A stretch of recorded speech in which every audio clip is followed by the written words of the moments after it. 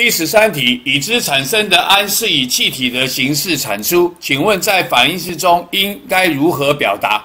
我们上课时候讲过了，如果我们在箭头的上方加一个三角形，代表加热。那如果我们产物是一个沉淀，我们就画一个向下的箭头；如果产物是个气体，我们就画一个向上的箭头。而这题的氨是以气体生成，所以我们就要在氨的旁边画一个向上的箭头。所以第十三题问我们说，请问在反应式中应该如何表达？我们答案选的是 B，NH 三向上的箭头。